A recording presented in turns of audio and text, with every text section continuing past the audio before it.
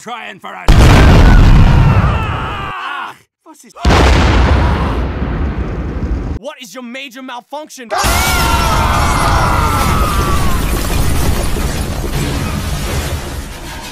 At least I have job.